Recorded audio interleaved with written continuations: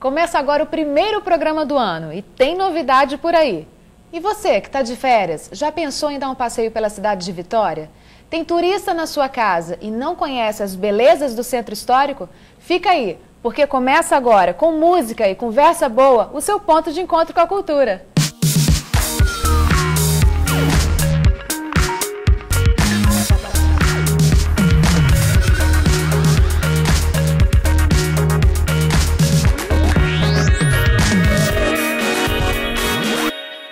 Tem gente que conhece a história do seu estado e outros não. O que, que nós fizemos? Pegamos algumas pessoas no centro de Vitória e fizemos umas perguntinhas sobre os monumentos aqui de Vitória. E você, conhece bem a sua cidade? Vamos ver? Então vamos começar, hein? Tem algumas perguntas aqui sobre a cidade de Vitória e cada pergunta tem três opções, tá? Vamos começar então. A ilha de Vitória, quando começou a ser povoada, tinha outro nome: Ilha Bela, Ilha de Santo Antônio e Ilha de Todos os Santos. Ilha Bela. Ilha Bela. Vamos ver. Ilha Bela. Ilha Bela. A última. Ninguém acertou, gente. É Ilha de Santo Antônio. Santo Antônio não é só um bairro aqui da nossa cidade, não. O que foi o Palácio Anchieta, que é o nosso palácio do governo, logo que ele foi construído? Colégio de jesuítas, de freiras ou de padres? Padres. Padres. É. Padres. Jesuítas, minha amiga. Antigamente, essa praça aqui, a Praça Costa Pereira, era banhada pelo mar, gente, e chamada de Cais de Vitória, Prainha ou Portinho? Prainha. Portinho. Prainha. Cais de Vitória.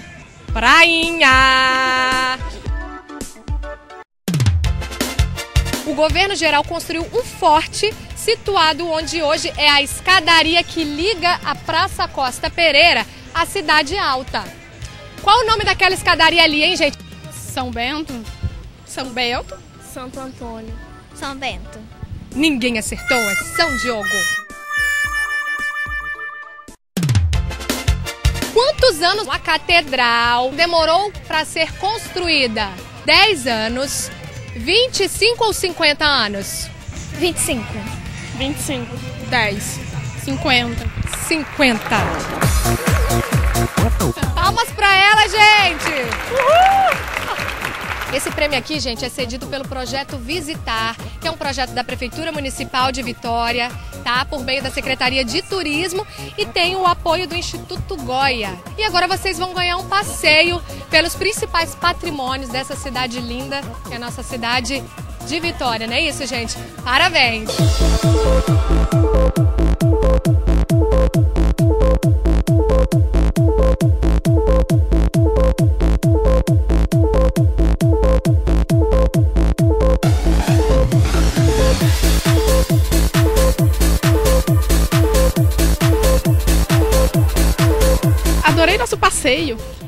Também. O centro de Vitória é realmente muito interessante. Venha visitar você também.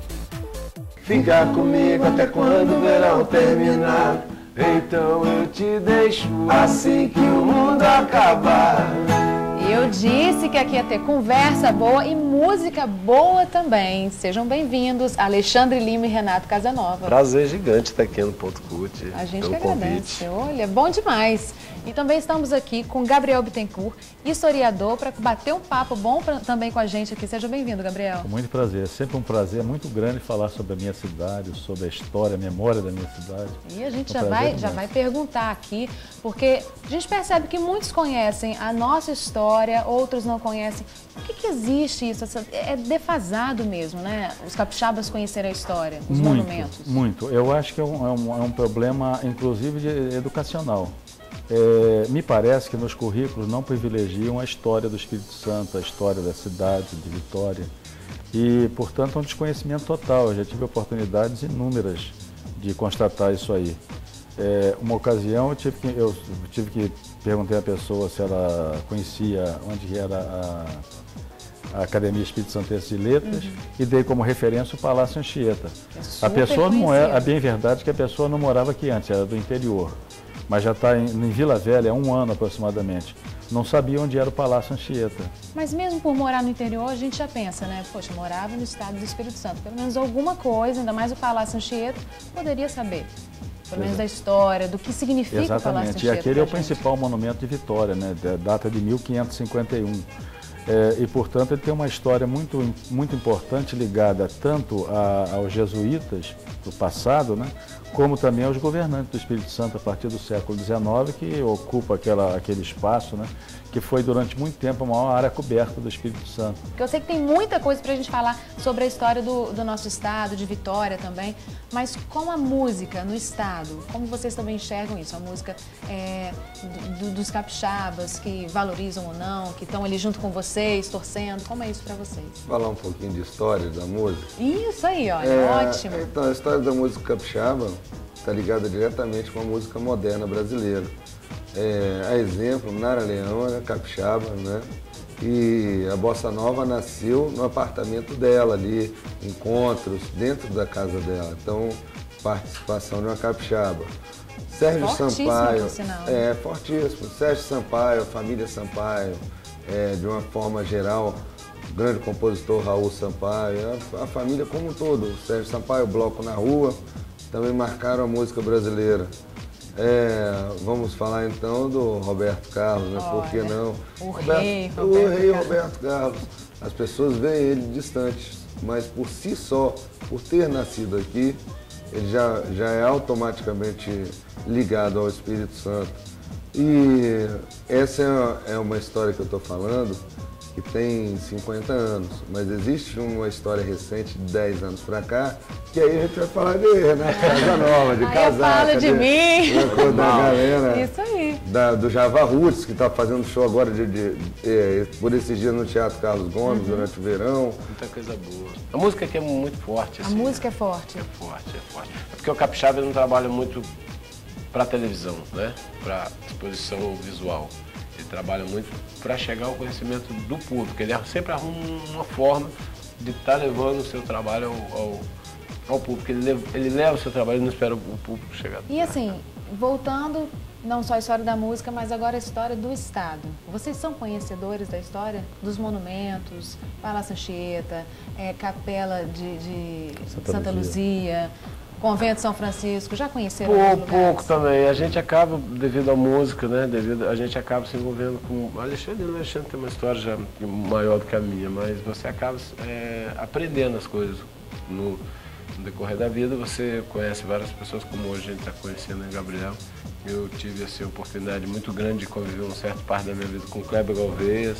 Então, assim, a gente vai aprendendo, mas não conheço tudo. O Espírito Santo é muito rico em, em- É demais, nessa, né?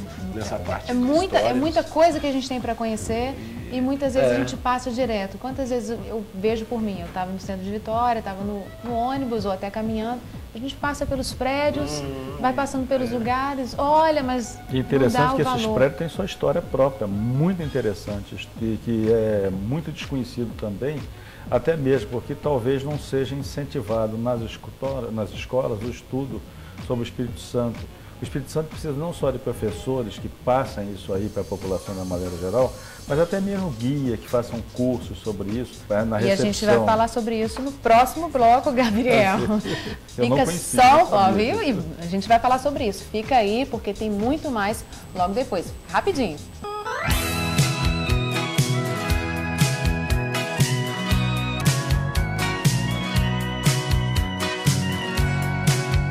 Ao te ver pela primeira vez, eu tremi todo.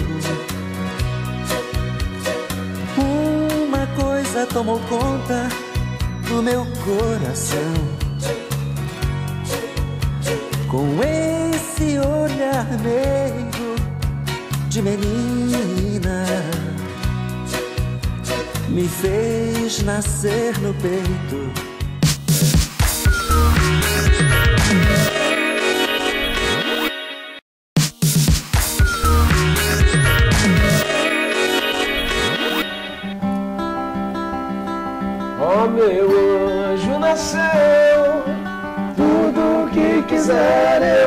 Te dar, meu amor, minha vida. Ó meu anjo nasceu, tudo que quiser eu vou te dar, meu amor, minha vida. Bom demais. E como a gente estava conversando aqui no outro bloco, o Gabriel falando de falta de incentivo, que precisa de guias aí para poder ajudar, monitorando, para conhecer melhor os monumentos de Vitória, do Centro Histórico, nós temos esse projeto. Vitória tem pela Secretaria de Turismo, muito bacana, que é uma visita guiada, que você faz a visita sem pagar nada. Gostou? Curte aí. Você certamente conhece alguns desses lugares, não é? Mas e a história por detrás deles? A importância de cada um para a formação da cidade de Vitória. Arrume suas malas então, porque agora você vai fazer uma viagem ao passado.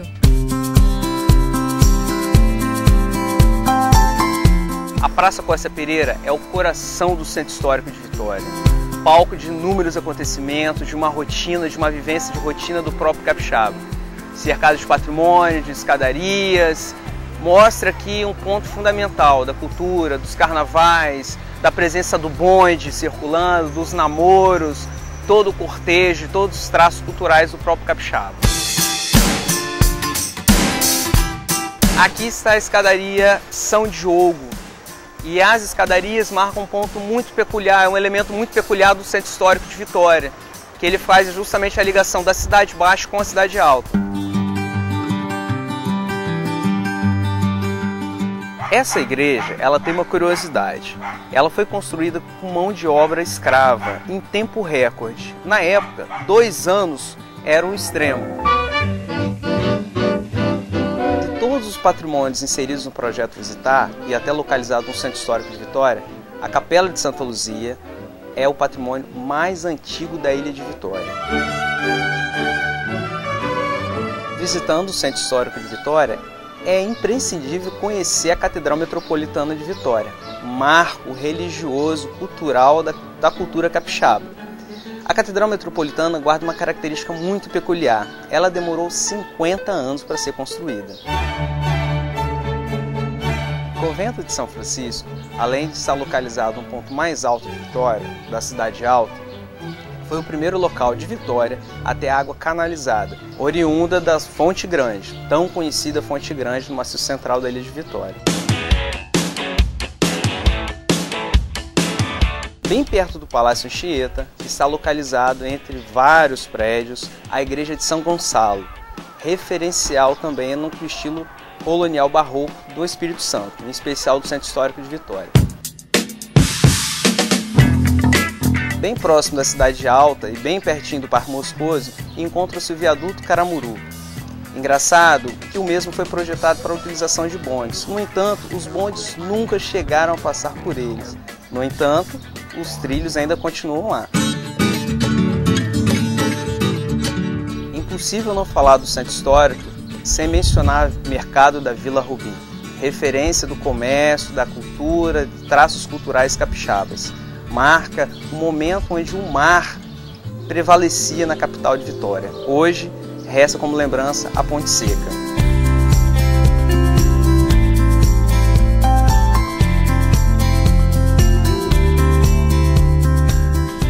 Bacana demais esse projeto, né? E você tem a oportunidade de conhecer também. E é simples, sabe uma coisa que eu achei legal? Os guias, eles vão visitando os moradores do centro de Vitória, do entorno, e vão convidando para que essas pessoas possam também conhecer os, os monumentos do, de Vitória, assim. Isso é muito legal, porque é, é. é um incentivo até os moradores, né? É, e é muito interessante que cada monumento, prédio de arquitetura histórica tem a sua história propriamente dita, né?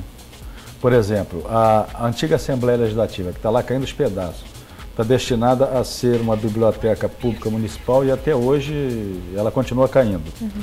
Aquilo ali era uma antiga igreja colonial, a Igreja da Misericórdia, que foi derrubada no tempo do governo Jerônimo Monteiro, entre 1908 e 1912, para se construir a Assembleia Legislativa, que foi uma obra de um italiano importantíssimo aqui para a arquitetura capixaba, que era André Carlone. E ela funcionou décadas e décadas como Assembleia Legislativa. Depois mudaram pra, ali para frente do shopping, né? E a Assembleia Legislativa ficou abandonada, completamente abandonada, e hoje está literalmente, ela foi tombada pelo Conselho de Cultura, e hoje ela literalmente está tombando realmente, né? E o monumento mais, é, o, o, no, mais novo, atual, assim, que a gente pode dizer, é o, a, o, a Catedral, né? É, entre esses monumentos eh, históricos do, da, daqui de Vitória, a Catedral, talvez porque ali... O que, que é, tinha antes ali? Antes era a própria Igreja Matriz de Vitória, Igreja Colonial, que foi derrubada também mais ou menos nessa época aí, por volta, entre, por volta de 18, da década de 20, para dar lugar à catedral. E a catedral levou décadas e décadas sendo construída. E fizeram aquela catedral interessantíssima, estilo neogótico, aquelas torres Ela toda voltada para o céu, né? como um pensamento medieval, que as igrejas né, tinham que estar é. projetadas para os céus, céus. Mas é, destruiu o seu monumento importantíssimo para a história do Espírito Santo, que era a igreja matriz de Vitória. Quer dizer, podia ter construído a catedral em outro lugar, em já outro que ela não comportava mais. Preservando, preservando aquela ali tinha. que era muito mais importante para nós, para a nossa memória. E esse projeto, que é um projeto muito bacana para o turismo, você existe ou já, foi, já se foi pensado um projeto também assim com a música, onde é, pode se conhecer profundamente a história da música do Estado, a história do, de como vocês começaram com a música. Isso existe Bem, ou Sim, vem sendo escrito, na realidade, essa história.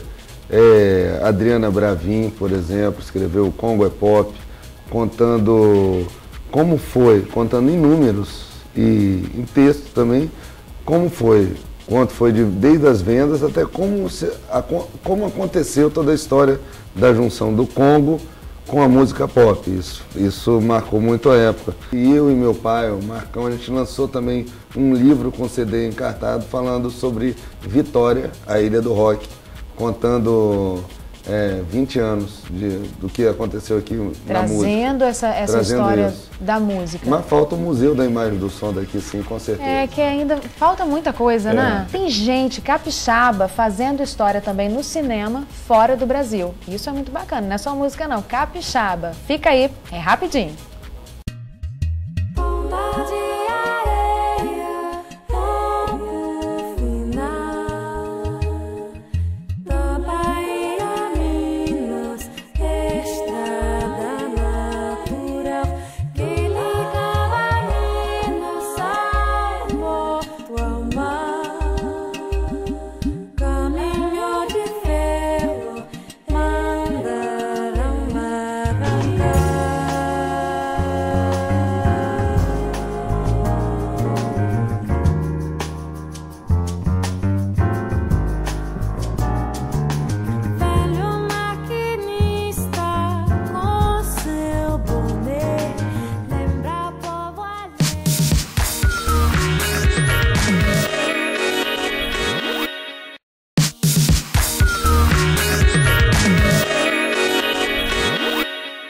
Está de volta, você viu aqui, está muito bom, o papo está gostoso mesmo, mas ela capixaba e já se tornou cidadã do mundo. Vencedora do prêmio de melhor curta drama. Agora chega de papo, vamos logo conhecer quem é ela, Gabriela Egito, uma capixaba que está fazendo sucesso nos Estados Unidos.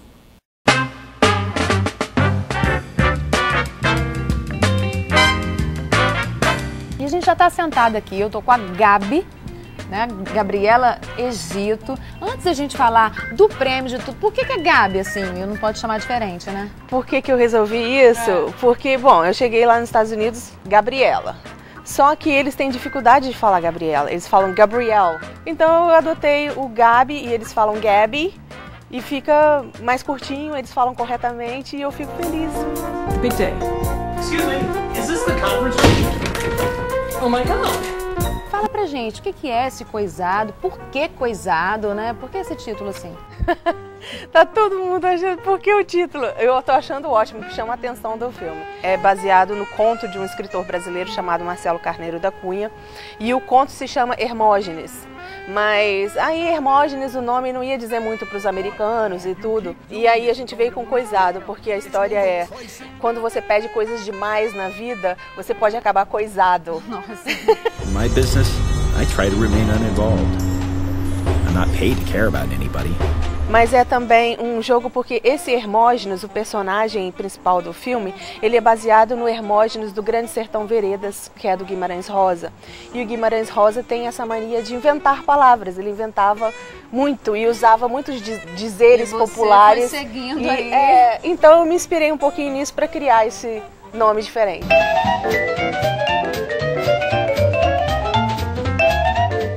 Só o prêmio, mas também teve a indicação do ator brasileiro, que é Phil Myler, né, que tem esse nome todo assim, bem americano, que não é americano, é brasileiro, também está no Palhaço. E como que é levar essa cultura brasileira para os Estados Unidos fazendo sucesso? Ai, é muito legal, né? É um, é um barato, assim, isso. E hum, é, o Phil é ótimo, ele é excelente ator e ele fala o inglês perfeito. Então as pessoas já falam assim, nossa, mas... Até os americanos falam, nossa, mas ele é brasileiro? Eu falo, é, com muito orgulho. So? É muito legal, a história, assim, lembra os filmes clássicos americanos de filme no ar, daquela coisa de detetive, do mistério, das pessoas que escondem segredos e a gente vai desvendando ao longo do filme. Mas é, também tem assim um temperinho brasileiro. Excuse me, let me have a look at this one. Well, this one needs work. né, o meu esperava filme. indicado? Não, não, não, esperava. Foi o primeiro festival que a gente entrou, que começaram a anunciar os prêmios, né? Aí falaram melhor longa, melhor ator, não sei o quê. Aí falaram melhor curta, drama, Eu. stuffed. Aí eu comecei a aplaudir. Né? Tipo, esperando a pessoa ir lá receber o prêmio, né? Você não se Aí- ligou? Jesus. Aí o Phil Myler falou assim: é você, Gabriela, vai lá. Foi muito bom, obrigada. Sucesso, sucesso nesse novo ano, né, que seja um tempo assim de muitos curtas e longas, não só nos Estados Unidos, mas aqui no Brasil dirigindo e tendo grande sucesso. Tá bom, obrigada. Tudo de bom, tá? Ponto Cult agradece, foi ótimo. E agora a gente vai comer a pipoca e você curte mais um pouquinho aí do curta. I know I have no right to ask you this, but I do ask you. Please don't tell anyone. What, there's more? Wild and unpredictable stuff does happen.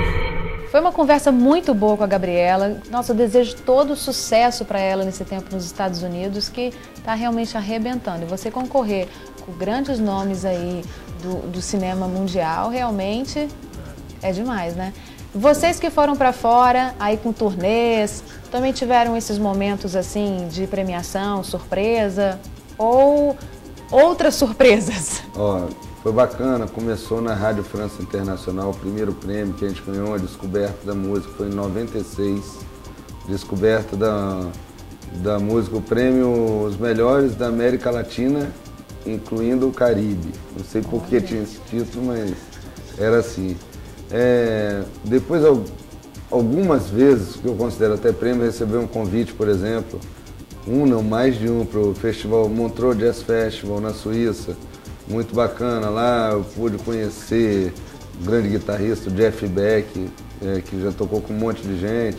É, mas nesse festival o Prince estava tocando no outro dia, no mesmo Grandes palco. nomes, né? É, por, por lá passaram B.B. King, Carlos Santana. E vocês lá no meio, como que era E a isso? gente assim? lá, cap- os capixabas no meio da galera. Aham. A gente é diferente porque é, é uma cultura única também no planeta, né? Quando, por exemplo, o som do casaca foi tocar em Marte, não foi à toa que foi escolhido pela NASA, pelos gringos, uma história de- geral, porque... Pelo diferencial pelo mesmo que diferencial. As pessoas aqui dentro às vezes até nem têm essa noção. Uhum. O quanto a gente é diferente para o mundo saindo daqui. O nome da cidade já diz tudo, né? Vitória do Espírito Santo. Ainda. Já é uma graça, né? É. Nós já somos vitoriadores do Espírito Santo. E Gabriel, dentro da história do Estado, tirando a música, o sucesso que os meninos estão fazendo, a música do, do nosso Estado está fazendo muito sucesso lá fora, realmente, isso é uma maravilha. E no cinema, e a- também em história do nosso Estado, que foi lá para fora, que fez sucesso. Tem alguma algo que a gente pode trazer aqui de novidade, de curiosidade? O Espírito Santo tem uma historiografia muito rica. Agora, não tem historiadores que se destacaram, mas tem personagens que se destacaram muito. Né? A primeira governante de uma capitania no Espírito Santo, a primeira de fato, né, que foi a Dona Luísa Grimaldi, né? e tem uma historiografia que explora toda essa história do Espírito Santo muito bem. Mas é, nós podemos dizer de pessoas de sucesso lá fora, inclusive no exterior, são figuras que se dedicaram mais à crônica, como por exemplo Rubem Braga, é, que explora o cotidiano, que não deixa de ser história do dia a dia, né? explora o cotidiano de Cachoeiro de Mirim, da igreja de São, da Catedral de São Pedro, da construção da mesma. E é, foi a figura talvez de maior destaque na literatura, na, da, da memória do Espírito Santo. Né? Um dos trabalhos dele, por exemplo, uma espécie de viagem cultural que ele faz pelo Espírito Santo, juntamente com o Caribé, Caribé desenhava né? e ele fazia o texto daquela, daquela obra de, de viagem pelo Espírito Santo de uma maneira geral. Uma tá maneira ótimo. Geral. Gabriel, obrigada. Prazer. Obrigado por participar do nosso programa, por nos ajudar a conhecer um pouco mais da história do Estado. Eu que agradeço, é uma oportunidade de, de que eu aproveito para divulgar alguma coisa. Aqui. Obrigada. O Ponto Cult agradece. Obrigado. E agradece também a Alexandre e ao Renato pela música, pelo bate-papo, também por trazer a história da música aqui pra gente, né? E a gente vai com música. Vamos lá? Vamos lá a nova. A gente está lançando aí. Ótimo. Fica comigo até quando o verão terminar. Então eu te deixo assim que o mundo acabar. Fica comigo até quando o verão terminar. Então eu te deixo assim que o mundo acabar. Eu queria viajar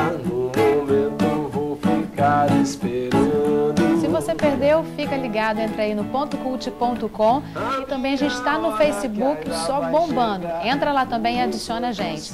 Gostou? Espero você sábado que vem, meio-dia e 40. Tem encontro com você, não esquece não. Ponto Cult, seu ponto de encontro com a cultura. Pedindo pra eu ficar em casa. Tudo bem, não girar na cadeira. Não podemos girar na cadeira. Daqui a pouco a gente já vai estar fazendo assim. Com Gabi. Gabi. Já errei. É. Ai.